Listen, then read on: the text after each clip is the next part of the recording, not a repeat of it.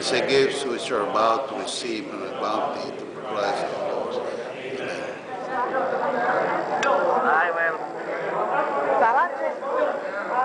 Maraming maraming pastel.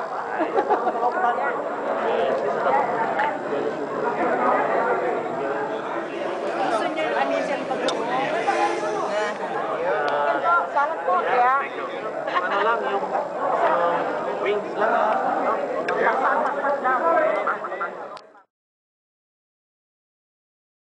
The present.